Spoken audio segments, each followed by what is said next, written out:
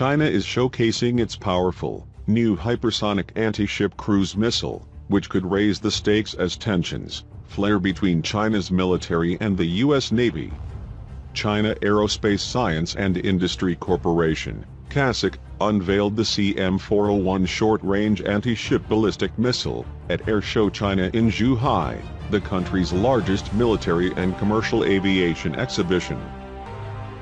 The system is intended for rapid and precision strikes against medium-sized ships, naval task forces, and offshore facilities, a CASIC representative told IHS Jane's Defense Weekly.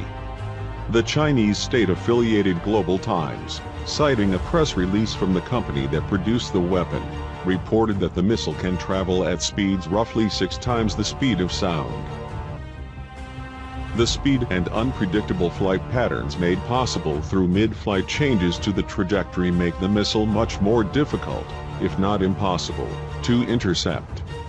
The CM-401s are assumed to fly on a skip-glide trajectory, the Warzone reported, citing graphics detailing the capabilities of the new system. The weapon has the potential of destroying a hostile vessel with one hit, the paper reported, citing a Chinese military expert. The CM-401 is believed to include an independent phased array radar in the nose for terminal targeting. The missile, which has a maximum range of 180 miles, can be launched from a shore-based launcher or from a ship-based launch canister. The Chinese People's Liberation Army Navy's new Type 055 destroyers could potentially carry the CM-401 missiles, the national interest reported, although it is possible the vessel will carry a longer-range variant.